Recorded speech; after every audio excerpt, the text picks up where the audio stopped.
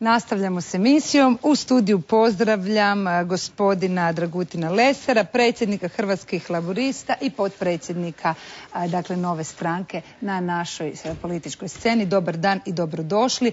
Prije nego što započnemo razgovor o sedam smrtnih grijeha vlade Republike Hrvatske i akciju prikupljanja potpisa koje se je organizirala vaša stranka, Recite mi kako vi komentirate ove najave, jučerašnje najave štednje, imali smo, čuli ste u prvom dijelu emisije priču o središtu telekomunikacije, evo gospodin Lucijan Carić objasnio nam je o tim investicijama u IT sektoru, malo kako stvari stoje, koji je vaš komentar?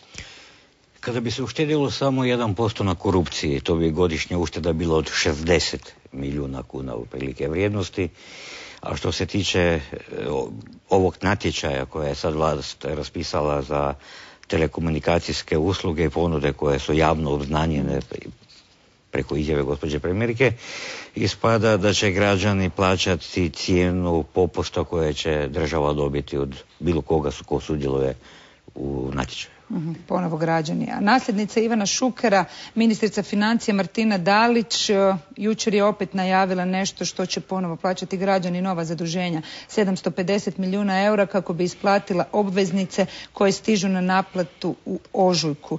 Uz to je za Hrvatski radio i rekla da je prošle godine deficit proračuna bio veći od plana. Kako komentirate ovo novo zaduženje? Ako se dobro sjećamo zakon o izvršenju proračuna, ovo dakle nije nikakva novost iznenađenje. Za ovu godinu ta zaduženja će e, do kraja ove godine biti negdje od 13 do 14 milijardi kuna. Uh Evo, gospodin Međera, pogledat ćemo sad zajedno prilog pa ćemo porazgovarati o akciji vaše stranke. Dakle, vi ste izbrojili sedam smrtvih grijeha zbog kojih smatrate da vlada mora odstupiti. Oholost, pohlepa, zavist, srđba, blud, neumjerenost i ljenost. Akcija prikupljanja potpisa počela je 1. veljače u 49 gradova u Hrvatskoj. Pogledajmo priču naše Petre Koščević. Sedam godina vlasti poput sedam grijeha. Tako anketirani građani doživljavaju proteklo vrijeme. Kažu nam ne mogu oprostiti. Zato što su sve pokrali i uništili i veliku mržnju napravili među nama ljudima. Da. Zato jer da su vodili 16 e, godina vladadu. Sve dalje, sve je gore. I su, kad je gazda otišao, trebali su svi otići još prije. Doveli su državu do bankrota. Pa vidite, jednostavno apatiju. Ljudi ne znaju, nemaju perspektive i mislim da bi se trebali maknuti. Kriza, težak život, siromaštvo, neizvjesnost. Sve to nagrizlo novčanike i život u Hrvatskoj.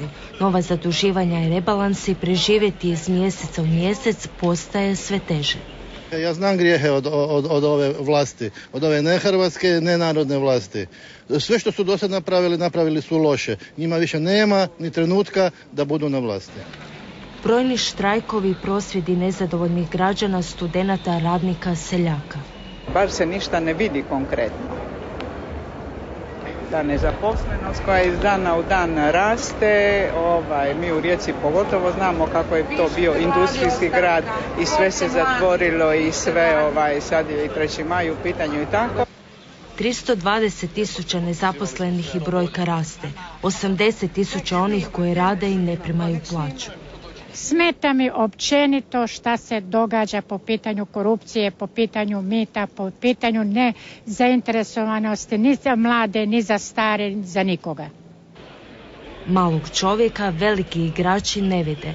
Nitko nije zaštićen, a najmanje smatraju građani socijalno najosjetljiviji i stvarno ne znamo više da li naš glas kao građanine e, o Republike Hrvatske išta valja, išta vrijedi i da li oni nas uopće slušaju.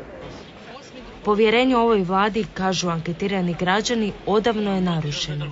Želim da se ovdje negdje na Riv ili u Splita na mjesta postavi e, stol da bi se mi svi mogli tu potpisati i reći svoje mišljenje. Kraj krize i neku svjetliju, sigurniju budućnost građani Zagreba, Rijeke, Splita, ali i ostatka Hrvatske ne naziru. Čuli smo naše građane. E, što želite postići ovom akcijom? Zbog čega pišete vladi? Pa upravo zbog građana koji su sada iznijeli svoje mišljenje i koji su iznijeli u kakvoj situaciji žive. Mi smo se kao hrvatski laboristi njima stavili na uslugu i u njihovo ime skupljamo potpise i predat ćemo ih vladi. Vlada očito nema senzibilitet za građana. Oni su postali toliko oholi, digli su nosove gore u nebo, ne vide kako građani Hrvatske žive. I naravno da tako stanje nije izdrživo i zato smo se mi ovaj, stavili u ulogu posrednika da skupimo te potpise od svoje slobodno vrijeme. Kako ide akcija, koliko potpisa je skupljeno? nema podatke na području Hrvatske, mogu reći za Zagreb da je sa jučerašnjim danom bilo nešto preko 12.000 potpisa skupljeno. S time što moramo imati u vidu da su nam prvi dani akcije bili izuzetno hladni, da olovke su se smrzavale, nismo mogli pisati i vjerujemo da je to bio razlog što smo možda malo manje ne od plana prikupili prve dane potpisa. Gospodine Lesar, danas ste u Karlovcu održali konferenciju za novinare i na nju ste doveli jednu ovcu. Šteficu, da. Zašto? Pa željeli smo ilustrirati da će još jedno od obećanja predsjednice vlade biti teško održivo i realizirati jer ne vjerujem da će moći pronaći 150 tisuća pastira koliko bi otprilike trebalo biti zaposleno po tom planu zapošljavanja koje su oni obznanili prošli tjedan. Zbog toga je ovca Štefica. Štef, tako je vlasnik nazvao, pa mi to moramo prihvatiti, da. Evo mi upravo gledamo kadrove te današnje preskonferencije. Vratimo se vašoj akciji zbog koje smo vas pozvali u goste. Dakle, Vlada nije bila impresionirana s 800 tisuća potpisa koje su prikupili sindikati. Zbog čega mislite da će vas i vaše potpise ozbiljno shvatiti? Nas kao stranku ne moraju ozbiljno shvatiti. Ako im neće biti dovoljni potpisi građana, dakle jer građani ovo pismo potpisuju, da barem razmisle iz kojih motiva su to ljudi potpisali, onda ne znam što bi u Hrvatskoj trebalo napraviti da vlast oslušne oko sebe ili kako građanima omogućiti da osim izbora i svake četiri godine jedanput kad se traži glas od njih, oni mogu utjecati na političke odluke. E, u nekim drugim zemljama građani nezadovoljni socijalnom situacijom su to počeli rješavati na daleko bolniji način. Mi smo ponudili civilizirani, kulturni, politički iskaz nezadovoljstva i ono što nismo planirali, ali jeste rezultat naše akcije, to mi je posebice drago, Čuo sam da otprilike prije tri dana je HDZ na nacionalnom nivou pokrenuo veliku akciju pisanja pisma potpori Jadranke Kosir i vladi, ali se ta pisma ne potpisuju javno na gradskim trgovima, nego isključivo unutar članstva Hrvatske demokratske zajednice i svaki član mora potpisati pismo koje dobije na svoju adresu i slati gospođi Kosor, tako da otprilike ćemo imati određenu prototežu potpora članova HDZ-a i građana koji smatraju da vrijeme da vlada omogući nove izbore. Dobro, nažalost u vrijeme ove teške gospodarske krize e, koliko mislite da ćete pismima uopće uspjeti promijeniti? SDP je nekoliko puta tražio glasovanje o povjerenju vladi, neuspješno. Mislite li vi ovime izazvati nove izbore ili samo upozoriti vladu? I jedno i drugo.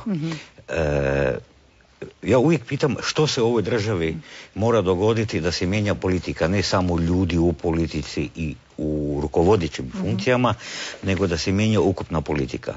Ovo je, ponavljam, način na koji se to radi u civiliziranim državama. Što je alternativa? Egipat, Tunis, Grčka, Portugal. Ako netko to želi prizivati u Hrvatskoj, a bojim se da neki od incidenata ili ovako daljnje ponašanje bi moglo dovesti do toga?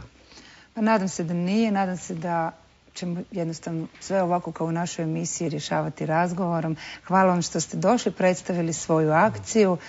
Mi idemo dalje sa emisijom i na